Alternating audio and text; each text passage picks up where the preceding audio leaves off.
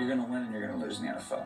It's some of the greatest highs, Touchdown with a minute eight to go. the lowest of lows. Pass is going to be intercepted. To have a family that just kind of stays neutral through it all, that you know you're going to always have that, allows you to almost have a little bit of peace. How was it for you? It's awful.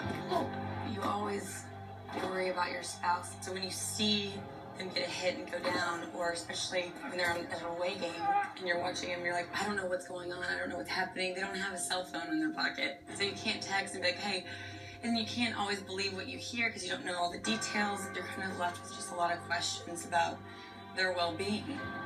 Tony Romo underwent back surgery this morning. Kyle Orton will be our starter. Your health and your back. How are you doing today? I feel good.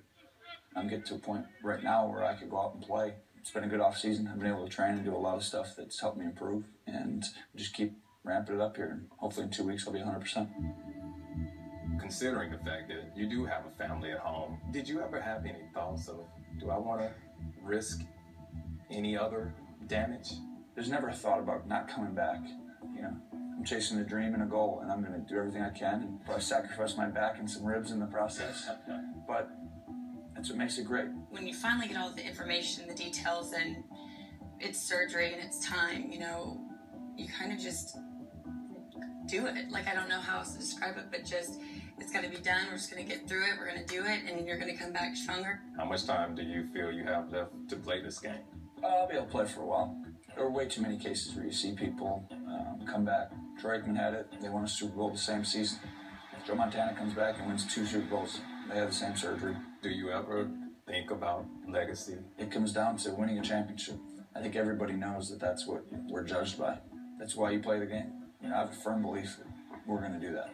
And I firmly believe that our football team is taking the steps to be in that position, whether it's this year or it takes two years or three. And I think that's because we're doing things a little bit different. I'm excited about that. Normally, when we talk to you, you, you never seem too high, you never seem too low. How do you guys deal with the criticism? People are really nice to your face. And wait until you leave It's- before they it's- talk very much. It's actually a really nice thing. I think you just learn that it's part of the job. So if you hated Romo last week, you better respect him today. When you lose, you're not very good. When you win, you're really good.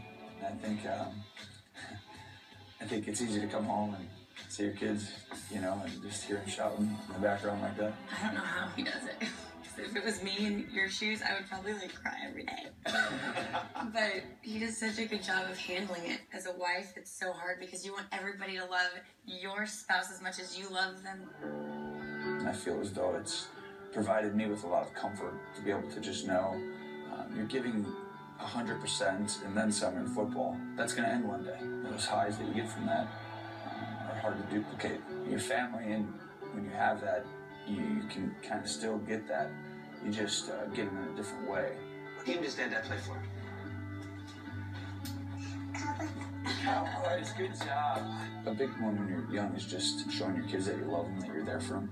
Your kids just sense time. They don't really know much else, you know, when they're real little. So if you're just around and you're spending time with them, that's that's what they know. You know, it's just a great blessing to know that they're not going anywhere.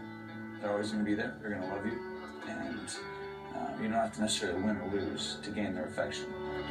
Thank you.